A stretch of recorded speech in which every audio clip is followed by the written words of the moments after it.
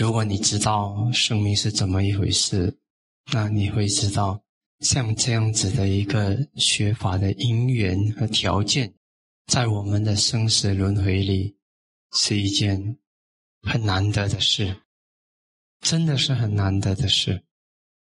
我们能够听闻到佛陀的教法，这个是很不容易的。如果你真的知道我们的生命生死轮回是怎么一回事，你就会知道，能够遇到佛陀出现在这个世间，就像有些时候你等着整个晚上，在夜里你看着天空，有多少次你能能够看到流星闪过？那佛出现在世间，比流星闪过还要稀有，还要难得。那今天两千五百多年前。佛陀在这个世界上，嗯，走过。他是一个悉达多太子，一个王子。然后他为了寻找了脱生死轮回的答案，他去修，然后他成佛了。他教了我们这个法，他教了我们这个法，怎么样也能够像他一样得到这个佛法的利益，也能够跳出生死轮回，不要再受这些苦了。佛陀。他的目标是非常清楚的，他是一个要快乐的人，他不要苦，跟我们一样吗？一样，对不对？我们也是要快乐，不要苦，对不对？那一样，但是我们懂吗？我们懂得如何快乐，不要苦吗？我们有能力给我们的生命只有快乐，没有苦吗？没有佛陀的引导，从师傅的角度来看，自己也在寻找，但是。找不到，好，那佛陀通过他的努力，他成佛了，嗯，他自己找到了安稳永恒的快乐，他也把这个快乐的方法告诉了我们，哎，这是佛法，啊，今天我们有这个因缘，大家能够在一起，嗯，来学习，这是很很好的善缘来的，它不是偶然的善缘，见面都是有缘。啊，能够见面一起学习也是有缘，见面一起成长也是有缘。师傅跑了那么多地方，不是每一个地方的人，嗯，像大家这样能够愿意抽出时间来学法的，不是的。有些地方，嗯，你走到你跟他讲，他也未必要听。今天是你们主动，你们自己会来要学习法，这表示你们爱护你们的生命，这是很好的。所以有些时候，每一次我们走进一个教法的场合，然后看着一群一群的陌生的朋友来到面前，那个内心就有一种很强的珍惜，真的一种珍惜，因为我知道这种因缘不多得的。为什么呢？因为生命很无常，有多少次我们跟人与人见了面过后，我们可以很肯定，我们未来还会再见面。有多少次我们能够这么肯定？谁也说不准，对吧？因为生命的无常。今天我们活得好好的，我们都活在幸福之中，嗯，物质也不缺，嗯，我们活在一个物质上很好的一个环境里面。但是我们不知道，再好的物质，再好的享受，再好的生活，我们都没有办法这么肯定的说，这个会永远存在。永远不会离开我们，为什么？这是生命的真相，这是生命的真相。今天要跟你们讲的就是这个其中一个真相，嗯，轮回的真相。你们这里谁相信轮回的？举手一下。相信轮回的，好。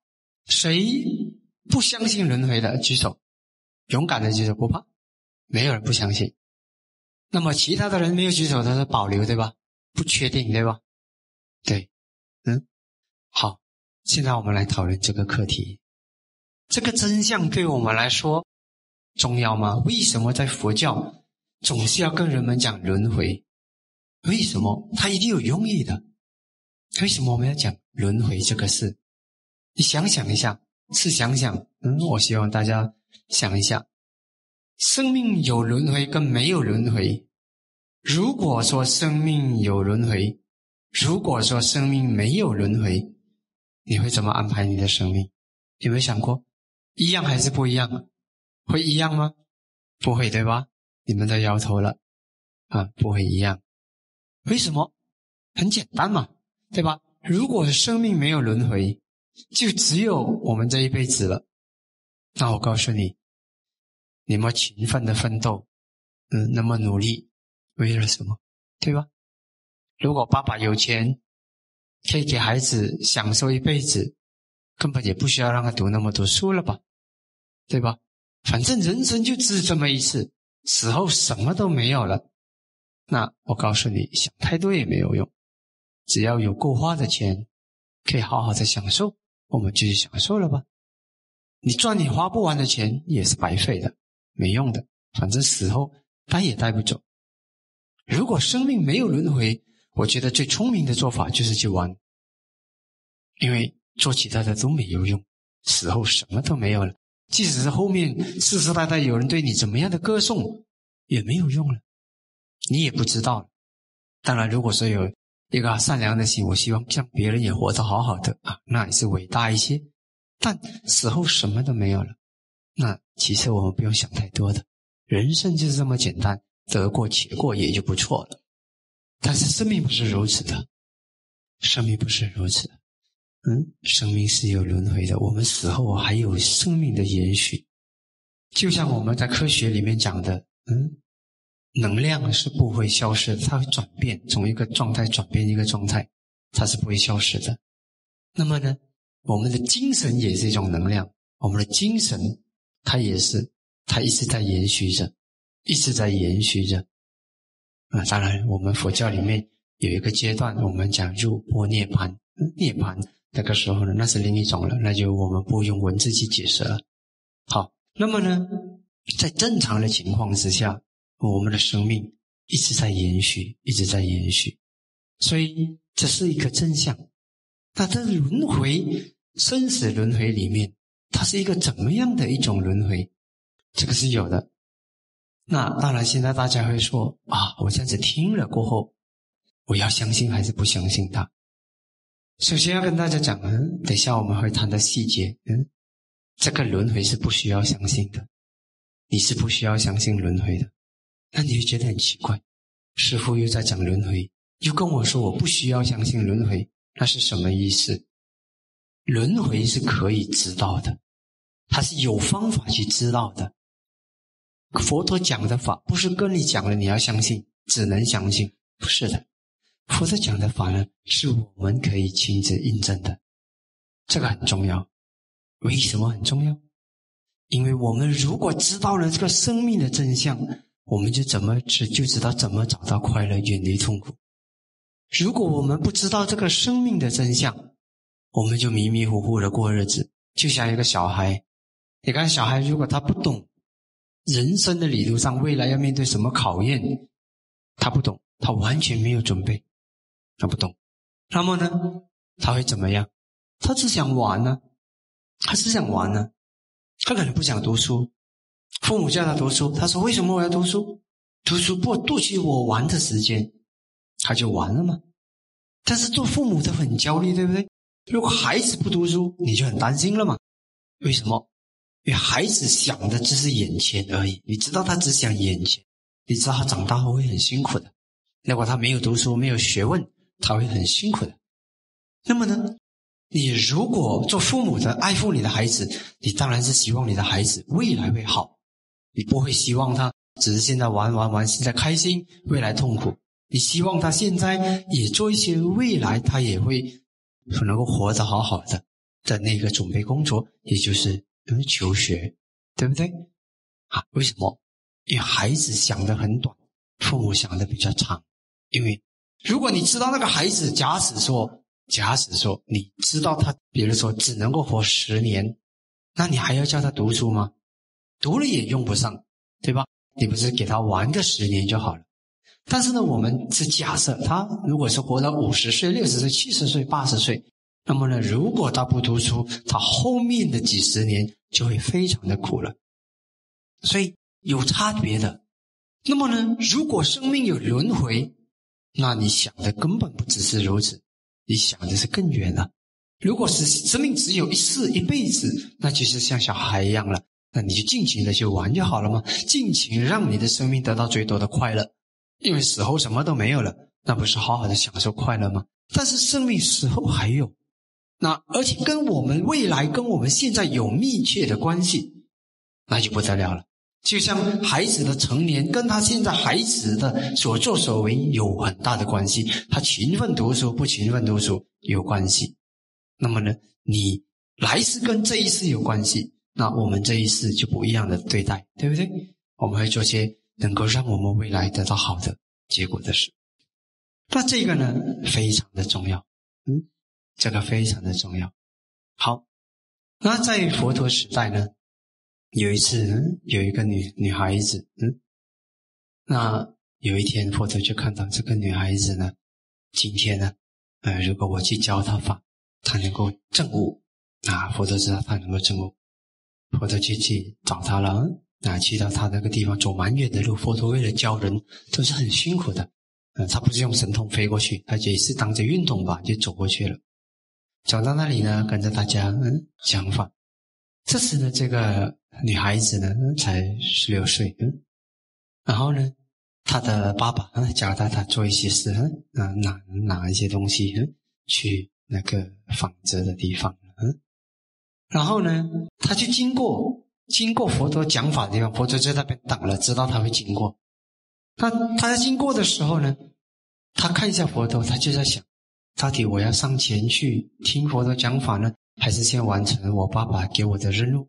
但是他就在想，嗯，如果我没有完成爸爸给我的任务，可能爸爸会打我，嗯，所以呢，嗯，他就想。他就想犹豫不决，到底要上前听法，还是他要继续的走他的上前他的旅程？这时佛陀知道他犹豫了，不得了，因为如果他现在不上前来听法，佛陀知道他今天就要死去了。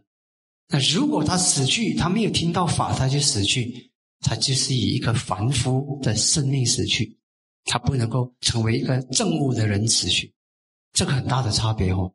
如果一个人证悟了过后，他离开这个世界，他死去呢？啊，他是不怕的，他怎样也不会堕落啊！等一下我们讲六道轮回啊，他怎样也不会堕落到畜生道，他也不会堕落到鬼道，他也不会堕落到阿修罗道。阿修罗是一种嗯，像鬼一样的是，他就是很猛、很很嗔恨心很强的一个生命。然后呢，他也不会堕落到地狱道。如果他是带着圣者的生命死去。然后呢，这个佛陀知道，他如果他能够听闻到法，他会证悟成为一个出国圣者。出国圣者呢，就是第一个证悟达到第一个证悟的圣者，我们叫须陀环当。然，你们也听过阿罗汉对吧？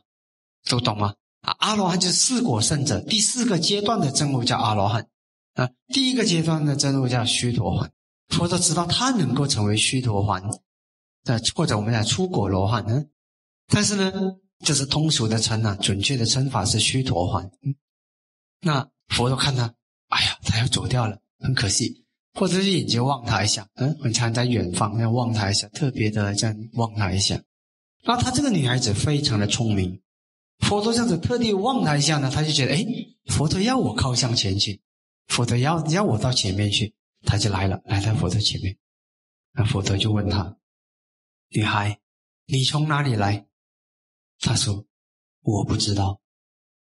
你往你将往何处去？我不知道。你不知道？我知道。你知道？我不知道。如果有一个人来到师傅面前这样子讲回答，你会怎么说？啊，当时的场面呢？每个人都讲，这个女孩在竟敢在佛陀面前胡言乱语。”人家问你从哪里来，你讲你从哪里来；讲问你从哪里去，你就说你哪里去。怎么在佛陀面前胡言乱语，又知道又不知道的？啊，当大家就议论了，就动了起来。那佛陀为了要让大家知道这个女孩子的智慧，佛陀就问她了。当大家的面前就问：当我问你你从哪里来的时候，你为什么说你不知道？他说。佛陀呢是一个大智慧者、正悟者，嗯，有大神通的觉者。佛陀不可能问我一个无聊的问题，佛陀问的问题，你从哪里来？肯定的不是指我从哪里一个地方走到这里来，不是这样子的。嗯，佛陀一定是问我从哪里投生到这里。他说我不知道，我真的是不知道我从哪里投生到这里，我不知道。嗯，佛在讲杀戮杀戮杀戮杀戮就是善哉的意思。嗯，好啊，很好。嗯，然后呢，佛说，那我问你，你将往何处去？你为什么说你不知道？哦，他说，因为呢，嗯，我真的是不知道。我现在修修行没有成就，所以我我不会知道我将投身到哪里去。嗯，所以佛陀肯定不是问我等下要去哪里，不是这么简单，肯定是问我生命将会投往哪里去？问我知道吗？我说我真的不知道。那佛陀又问他，那我问你，你不知道，那你为什么说我知道？哦，他说。啊，佛陀当然也不是问粗浅的问题。我你不知道，就是说你不知道你会死吗？你会你未来虽然你说不知道你会投身到哪里，但是你不知道啊，这那肯定佛陀何必多举一指再问这句呢？啊，那我在问的一定是你不知道你最终会走往何处去，最终会走向死亡吗？嗯，那我知道。那我你再问，你知道？这个佛陀问的不是普通的，你知道？佛陀是问我几时会死去？我你我我真的知道我几时会死去吗？哎，我不知道，因为人几时要死，谁也不知道。哎，除非，当然有些人可以知道。嗯，如果你要修行好，你可以知道。所以呢，当时他这样子回答过后，嗯，这个女孩子，佛陀这样子一问一答，当时还有很多人在场听着。然后听他这样子一问一答过后呢，他自己也证悟了。啊，这个不是普通的问答，因为这个女孩子她在还没有听到佛陀讲的以前，她做了三年的功课。三年什么功课？佛陀在三年前来到这个地方的时候呢，教导了死随念。死随念是一种修法，醒觉悟有一天我也会死亡，这不是消极的，是很积极的。是想有一天，嗯，我要面对。所以，当一个人如果做了很多死随念的人呢，他死亡来临的时候呢，他的心是很淡定的，因为他已经接受了有一天我一定会死亡，他有了这个准备，所以呢，他不会害怕，而且他会很醒觉。当他这样子做的时候呢，他的心会越来越清净。你看啊，当我们会跟人家斗争啊，会很生气啊，然后会很跟人家呃闹事啊，或者之类的。都是因为我们以为好像我们会永远的活着，好像我们的对手、我们的敌人也永远的活着。其实不是的，其实不是的。如果我们有一天会记得，我们所讨厌的人也会死去，我们所爱的人也会死去，全部人都会死去。其实呢，生命里面不需要一点点看不开、过不去，真的没完，不需要。嗯，因为我们醒觉到，嗯，人都会，众生都会，嗯，死去。所以他做了三年的死随念，他的那个这个禅法，他在心里呢不是普通的人呢。那三年的功力已经很深了。所以这时呢，佛陀在跟他讲法的时候呢，啊，他三年前学的时候他不能开悟，但三年后他做了三年的准备工作，每一天都这么修。所以呢，这时呢，佛陀一讲这个四个问题，一问一答，他的波罗蜜成熟了。波罗蜜是一种功德。嗯一种能够让一个人解脱的功德，这个功德呢就成熟了，他就开悟了，嗯，就是很很好的。所以呢，这个对答里面呢，很重视的是什么？我们从何处来，从何处去？对我们的生命里面来说重要吗？有多重要？非常重要。多少人有把握说，如果我面对死亡的时候，我不会害怕，我会很安定？举手一下。没有吗？啊，有些人谦虚啊，你们不怕，很安定。为什么你不怕？能分享一下吗？不会怕，为什么不会怕？就是觉得不怕。你为什么觉得不怕？不会怕？师傅告诉你，嗯，我以前也觉得我不会怕，我以前也觉得我不会怕。我觉得反正人都要死了吧，死有什么好怕？就是什么样的？哇，那个胆子很大，一直到。一九九三年十二月四日那一天，那个是我跟读大学毕业的那一年。我跟着我的师傅，嗯，我们到他去交谈，我做他的翻译员。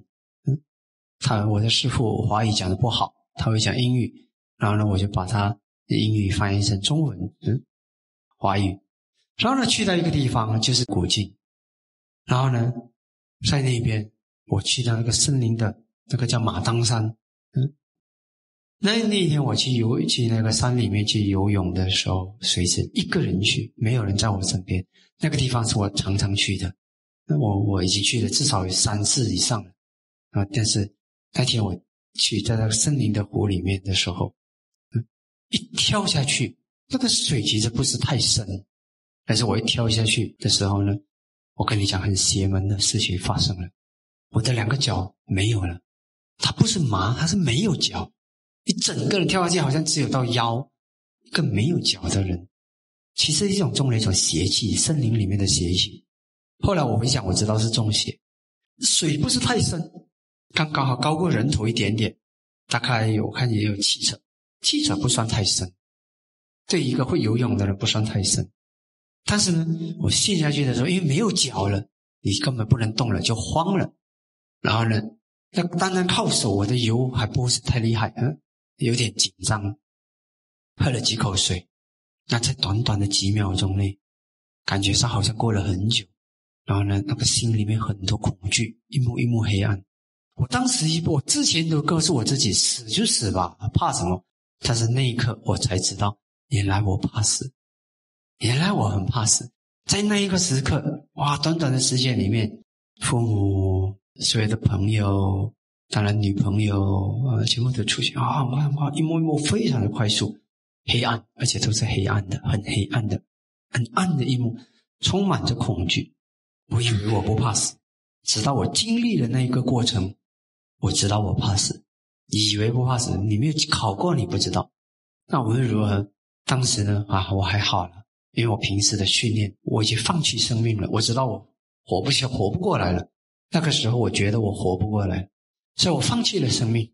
但是呢，心里留过一句话：“Let me die my fully。”因为这是我们学法的时候，每一次我老师都在教的。如果你死，你面对死亡的时候呢，带着正念死去。你们知道什么叫正念吗？正念就是这种醒觉心，嗯，清净的醒觉心、明觉心、不忘的心。好，他这个清净心，在我那时心里那句话 “Let me die my free” 是英语，“Let me die my free” 让我有正念的死去。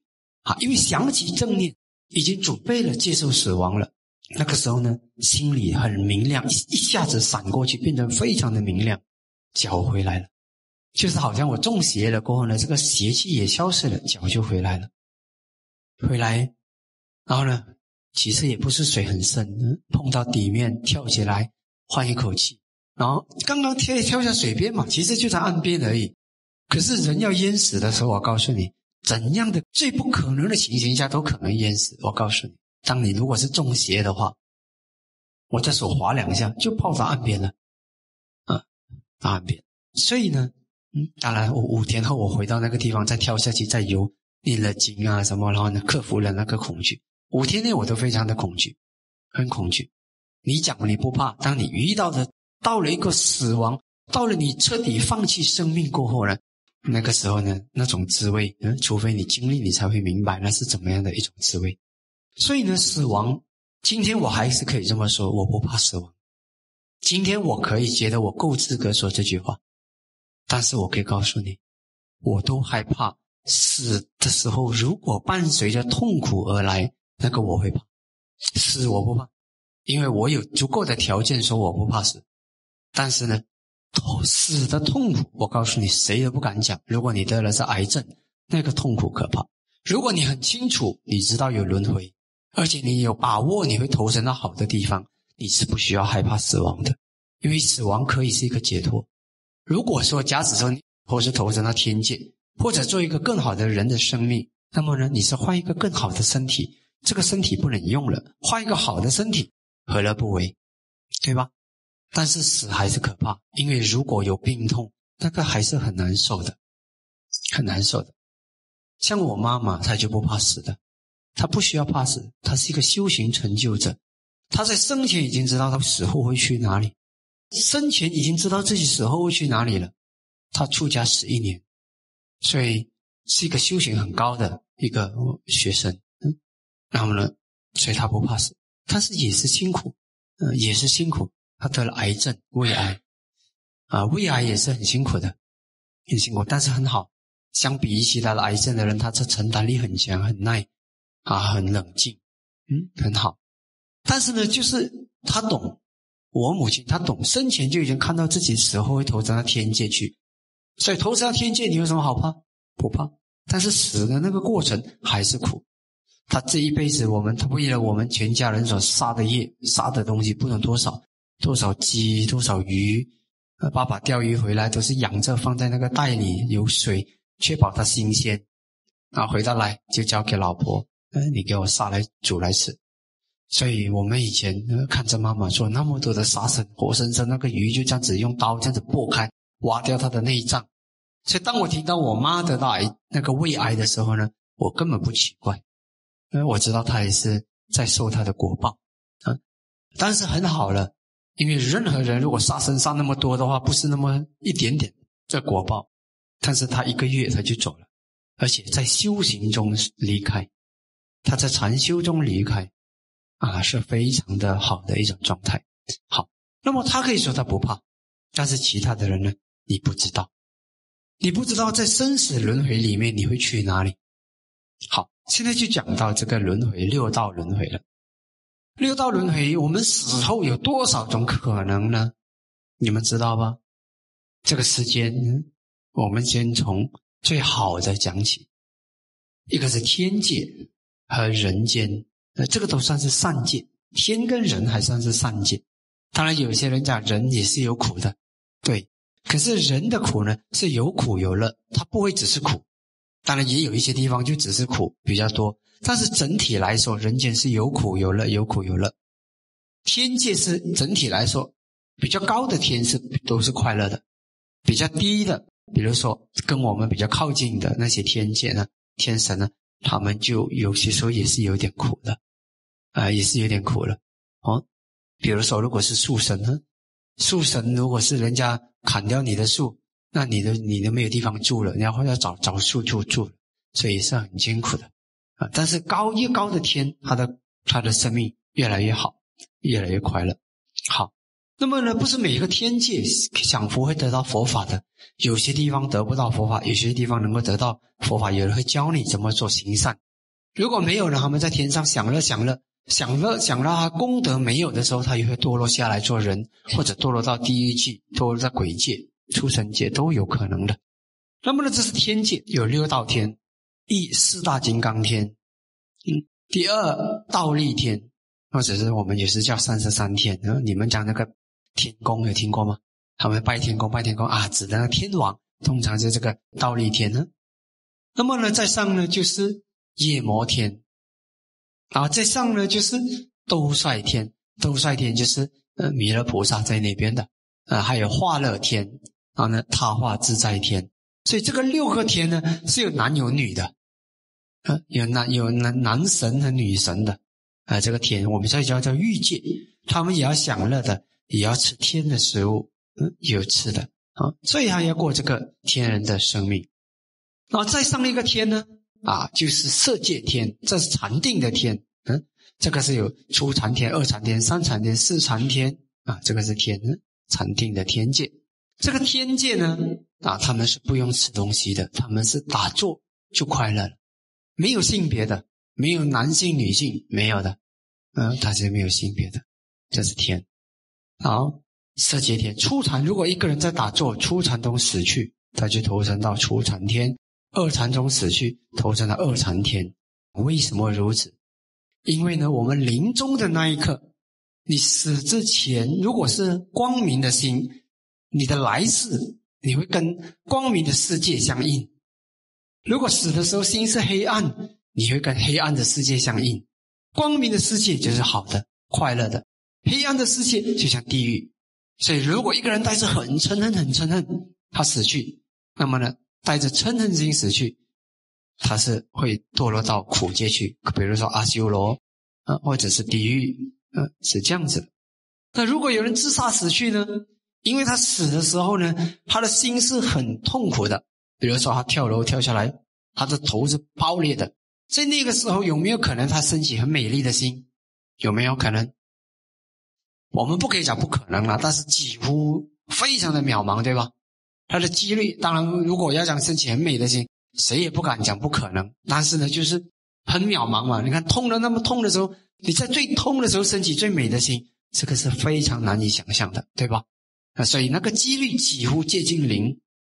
嗯，所以他投生呢，如果一个人自杀死去呢，很大的可能性他都是堕落到苦界去的。所以千万我们佛教徒呢，懂的人再苦再苦也不可以去自杀啊，不要去自杀。嗯，而且要清清醒醒死去。嗯，好。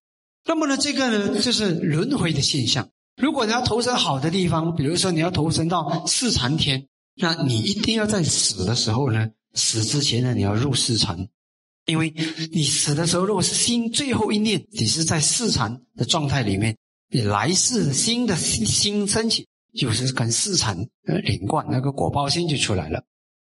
好，所以这个看你投在哪里。那么还有一种生命，这个叫做梵天神啊，那个提供啊那些啊都是欲界天天神啊，那个是梵天神。梵天神他们的境界是很好的，天天打坐，也不用去天天去找食物，也不用去建房子啊，也不需要过那种很复杂的生活。他们是一投身的，马上这个身体就出现了。他不是要经过母胎的，我们是要经过胎生的。梵天神是一出现啊，就是这样子，所以很强的，很大的。嗯，那么呢，呃，相比于天神呢，我们就像小蚂蚁一样了哦。那再上呢，就是呃，还有当然有四禅的分辨，五五禅天的分辨啊，这个我们就不讲太细，嗯，大家会混乱。那在上呢，这是梵天神呢，有另一种梵天神是没有身体的。就只有心，啊，这个是怎么达到的呢？啊，比如说有一种修法，你你可以让你的心完全前面完全空掉。比如说这个这个有建筑，对不对？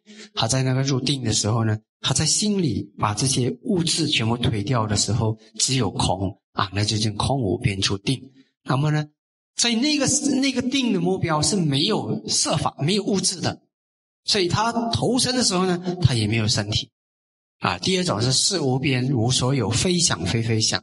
那么这四种呢，他投生到梵天界呢，他是只有精神没有肉体，所以没有肉体，他有精神，他也不会生病，他也没有这种生病啊、病痛啊、癌症啊这些都不会发生，绝对不会发生。所以没有任何的肉体的这个痛苦。人欲界天、色界天就是有身体的。禅定的天，然后呢，无色界天，没有身体的天。好，这些我们一般上通称天界。好，人间就是我们大家都知道我们在人间。然后呢，这个还算是好的。我们要帮助自己，还是可以帮助自己的。虽然人间有些是很苦。那还有呢，就是下去的，嗯，鬼界啊，阿修罗啊，还有畜生呢，还有地狱。地狱是有的，真的是有的。所以，我们苦呢，都是因为堕落到这个苦界。地狱里面有很冷很冷的地狱，也有很热很热的地狱，那是不能想象的。所以要受那种很大的苦。那如果我们知道我们生死轮回里面无始以来的轮回，我们也经历过上上下下都经历过了，我们就知道轮回是多么的没有保障的一件事。那我们现在佛陀的教法是要让我们怎么呢？让我们这一生找到快乐。佛陀的教法不只是给我们在讲来世的，那没用，只是讲来世没用，对吧？佛陀教法呢是照顾、保护我们的这一世，也保护我们的来世。不只是这一世安稳、远离痛苦，我们也希望我们的来世能够好的。还有一个更重要的就是，我们怎么帮助自己，这才是最重要的。嗯，这是我们的世界观。我们怎么帮助自己？但是呢，它的原理就是你要帮助自己的现在，现在帮不了，来世不要想，一定要把现在做好，我们就不用担心未来了。尊者吉祥，刚才尊者开示了，这个天界有三十三空天，呃，要是按照这个俗世间的看法，这个能量是守恒的，那么你你比如说他们这个食物啊，或者是供养的这个来源，它是本身就存在呢，还是？他们的能量的来源不知道是哪里？哦，他们的功德带给他们呢，就是有用不完的好东西，功德带来的。他如果做过很多好的事，那么呢，他的感召。当我们人间一个有某一个时期，人间也是如此，也是食物是不用很辛苦去累积的。就像牛，你看牛啊、马啊，它们吃不完的食物都是草原啊，就是食物。但是我们人不会去吃草嘛，对吧？所以，那么人家吃比较高级的一些食物，那么那个叫去种啊，去什么？在某一个时代，当人很有功德的时候呢，其实呢，食物是吃不完的，满天地都是食物，那你就可以吃不完的食物，你不需要去耕种，你就吃不完的食物，是我们的功德带给我们的。所以天界他们不需要的，他们有有有吃不完的食物，不需要说呃要去怎么样辛苦去准备，不需要。比如说那些桃啊什么，不需要去做这样劳累的工作，功德带来的。我们的生命有功德的时候呢，它就会感召好的东西来我们的生命里面。这样，明白？哎，尊者，那那就是这些食物功德生命带来，这个这是因果。就是那么它这些食物的来源的时候呢，它是本身天界就已经存在了，它取之不尽，用之不竭，还是呢来自下层的供养啊？哦，没有，天界本来就存在。但是也有一些，比如说，比如说桃花自在天，他们的一些，呃，他们要玩乐的东西啊，呃，他也会有有一些比较低的，呃，要替他服务，呃，做创造给他之类的。在不同的天，它的不同的状态，不是每一个天都一样，他们如果想想想用到的东西不一样，这样了。最好还是自己自己以后回去看，每个人我们每个人都经历过不同的天，也经历过最惨的地狱，都经历过。嗯，现在呢，当我们讲这个六道轮回的时候呢，不是讲来给大家听了过瘾过瘾。我们最重要的是讲的是，嗯，我们知道我们生命里面有什么选项，有多少种可能，然后针对这个可能，我们能做些什么？我们的关键是在这里。那如果我们能做些什么，我们怎样做？而且这个呢，当你发现到，当你做对的时候呢？你还没有等到来世，你这一世就改变了，这一世的生命就不会就不同了。这个是比较可贵的。我们活着不可以每天活在那边等等待来世谈来世，不能的。我们要懂得是是，嗯，更重要的是现在。现在你看呢，人们亲人死去的时候，呃，去做一大堆的佛事，到底这些佛事有用没用？花了这些钱有用没有用？然后呢，哪一些是我们真正有用的？我们看到这个时代是。没有用的人们做了那么多，有用的没有去做，啊，这是非常可惜的。花了那么多的钱，那么多的劳力去做些没用的事，真正有用的、需要的，没有人去做。所以呢，通过这个学佛，我们学习；通过佛陀的智慧，我们学习做些有用的事。哦。